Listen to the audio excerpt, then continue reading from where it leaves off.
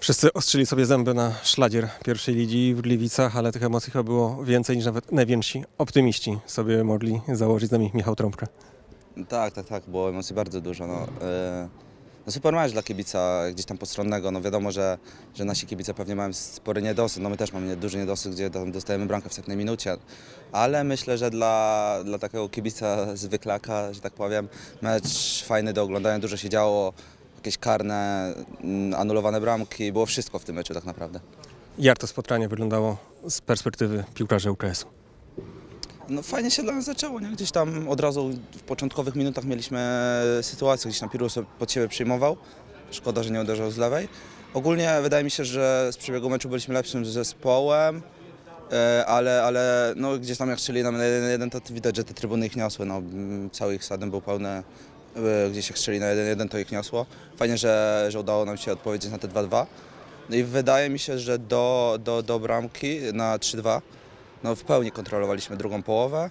No i wiadomo, gdzieś tam z automatu się cofnęliśmy, gdzie w końcu coś strzelamy na, na 3-2, to, to podświadomie się cofasz. To był chyba też błąd. No i oni już takimi wybijanymi piłkami stwarzali sobie jakieś zagrożenie. Gdzieś tam mieliśmy ostrzeżenie na te 3-3, które i, i wtedy sędzia cofnął bramkę. No i na 3-3 dostaliśmy rękę, no nie wiem czy była czy nie, no gdzieś tam widziałem powtórkę, no to chyba miał prawo sędzia tego karnego podyktować. Te ostatnie minuty ciągnęły się w nieskończoność. No tak, no gdzieś mu...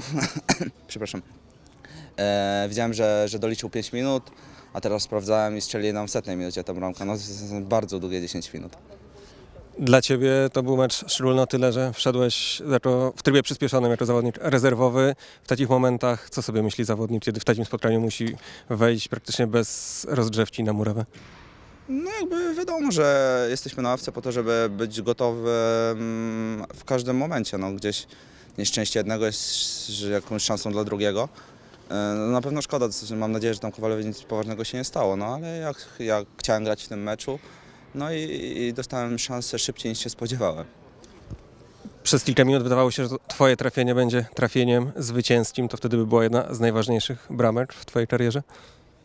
No, dla mnie szczególnie, jak gdzieś jestem ze Śląska i jestem bardziej, e, jestem z Rudy Śląskiej i z tej drugiej, z drugiej drużyny na Śląsku, że tak powiem. I smakowałoby mi to potrójnie, czy tam poczwórnie. Bardzo bym się cieszył z tego, jakbyśmy wygrali taki mecz, no ale no szkoda, duży niedosyt. Teraz przerwa na mecze reprezentacji, wolny weekend od spotkań ligowych. Przyda się trochę tego wolnego, spokojnego, żeby dopracować, doszlifować na tą ostatnią fazę sezonu, te elementy, które gdzieś tam mogły się rozregulować. No, jakby, jak dla mnie to nie ma większego znaczenia, czy będziemy mieć tydzień przerwy, czy dwa. No, skupimy się po prostu w tych dwóch tygodniach, żeby przygotować się dobrze do meczu z Chonicami, no bo gdzieś tam też ten remis nie jest najgorszy, jeśli wygramy w kolejnym meczu, bo dalej zachowamy pozycję lidera i będziemy mogli kontrolować to wszystko, co się dzieje, więc no, mamy dwa tygodnie po prostu, żeby się przygotować do kolejnego meczu. W tym sezonie już raz pojechaliście na Śląsk do zespołu, który miał wtedy najlepszą defensywę, strzeliliście pięć bramek, teraz przyjechaliście znowu na Śląsk do zespołu, który miał najlepszą defensywę, dołożyliście kolejne trzy. Jak widać, żadne statystyki nie są wam straszne. No tak, dokładnie. No, wydaje mi się, że my mamy w lidze jedną z mocniejszych ofensyw, jeśli chodzi. No, no, chyba to tam jest w statystykach wyraźnie, że jesteśmy na pierwszym miejscu pod względem strzelonych bramek. No, szkoda, że dzisiaj też trzy straciliśmy, no bo jeszcze o ile wiadomo, ta trzecia bramka to dużo przypadku, no gdzieś poszła po głowie, spadła na rękę, no ręka, tak się zdarza.